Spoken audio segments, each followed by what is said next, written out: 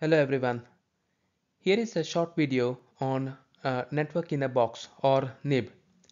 Before we proceed further, I would just like to mention uh, for those who may not know that all the slides are available on SlideShare account.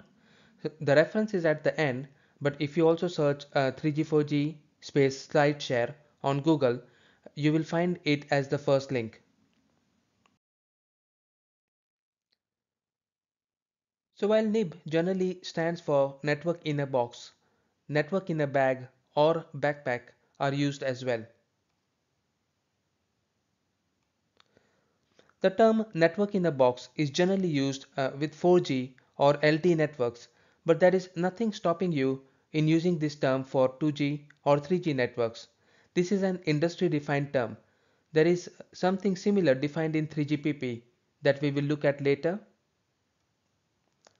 now this picture is from Vodafone Foundation whose mission statement is connecting for good and is about combining Vodafone's charitable giving and technology to make a difference in the world. Uh, this is from an old uh, post which I did a blog post on the small cells blog. Now here they have used a, a, a they define this as 11 kg emergency network in a backpack uh, uh, different uh, for different disaster scenarios to help out with connectivity. In a press release earlier, they had announced that uh, the Instant Network Mini, which can be taken as hand luggage on commercial flights, can provide up to 5 concurrent calls with a radius of about 330 feet and enable text messages to be sent to thousands of people. I assume these are the emergency broadcast messages. Now there is also a larger instant network roughly around 100 kilogram that can be transported in four suitcases. Uh, so it offers a much wider operating radius of up to uh, around 3 miles. this is a picture of uh, Nokia's Nokia's network uh, network in a bag from MWC. Now there is a link to their web page that contains uh, more details and videos.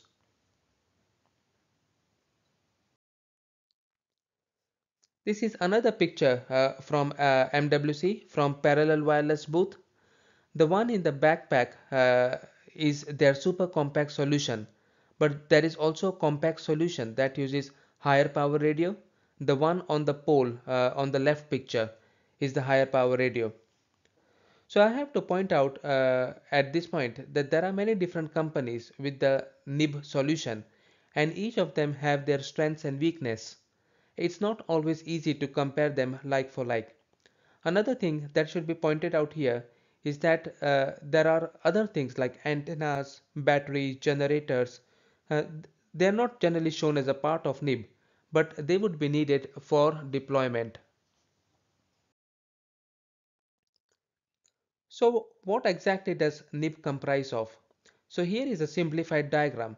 It includes the access network which is the eNode B in case of LTE uh, and the core which is uh, EPC in case of 4G. So the EPC typically consists of MME, uh, the serving gateway and the PDN gateway and HSS uh, is generally uh, the home subscriber server can be shown as part of EPC or can be separate.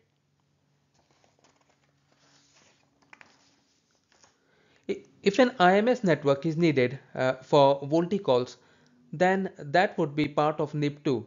But many NIBs don't contain the IMS uh, as this can actually create a bit of a bottleneck. So this is optional. IMS server is optional. The content server, which is also contains application server, uh, contains applications which may be needed uh, for uh, like whatever purpose and these applications will also have to be installed on the handsets. Uh, Android devices are always used uh, as a part of this uh, because you can install applications designed for any particular scenarios. iPhones don't allow applications to be installed easily.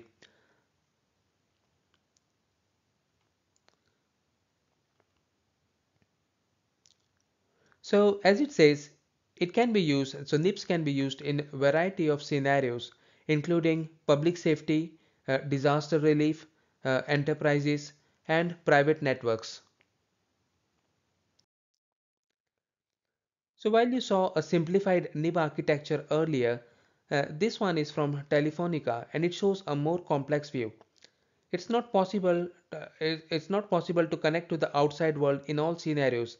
Hence, the network in a box solution has to be designed as a standalone.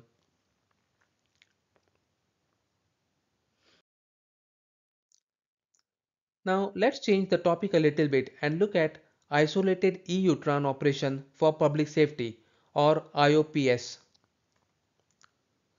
So network in a box is more of an industry defined term. IOPS uh, is as per my understanding 3GPP defined term for NIB. It is detailed in uh, 23.401 Annex K.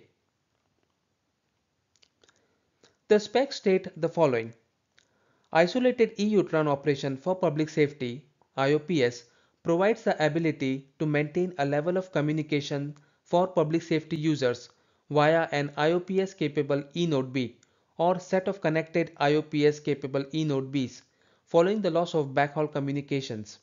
The isolated EUTRAN operation mode of operation is also applicable to the formation of a nomadic EPS deployment that is a deployment of one or more standard IOPS capable eNodeBs creating a serving radio access network without backhaul communications and also providing local IP connectivity and services to public safety users in the absence of normal EPS infrastructure availability. So if you if you think about this it's not really very different from what the network in a box concept uh, is defined as. So but it it's got a slightly different uh, take on things right? So let's look uh, at the bit more detail.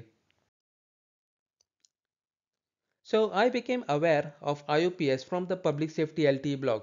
Now the link is actually provided here which uh, you can get from the slides. There is a good amount of discussion on this topic uh, on this particular blog so I suggest if this is an area of interest, then you check out the blog, right? The link is provided here and at the end of the slide. So the figure depicts an example of shared RAN, which is public, which is serving both public safety users and commercial subscribers. There are separate PLMN identities for commercial customers, uh, which is the PLM, PLMN-A, and the public safety customers, which is the PLMN PPDR and there are also separate core networks.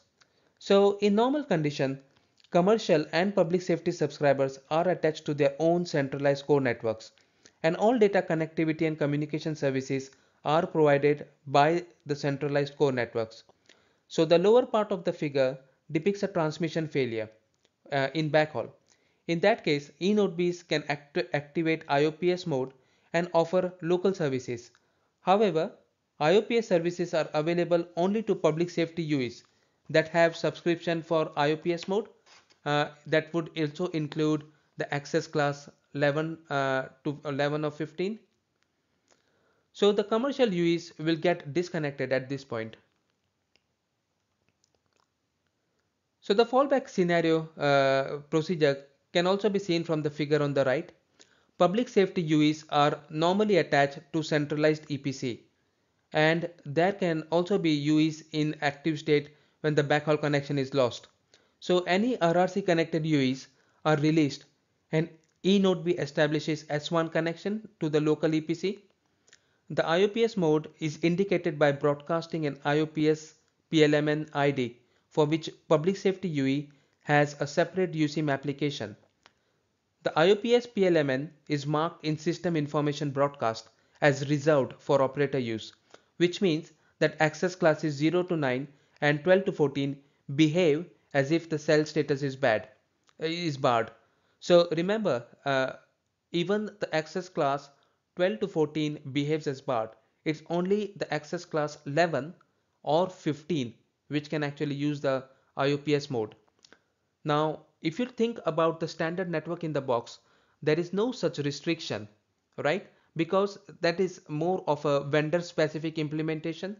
Each vendor has some or the other uh, uh, customization or some or the other uh, feature which others don't have. So it is in a way quite different from a standard network in a box uh, solution. So here are some links for other vendors network in a box solution.